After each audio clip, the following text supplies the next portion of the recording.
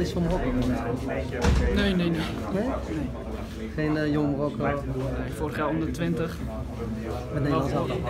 Ook Marokko eh, had me toen opgeroepen Ja. onder 20. Maar toen eh, ging ik naar uh, Nederland zelf. Een keuze die maak je later. Ja, ik, laat het nu gewoon eh, vrij.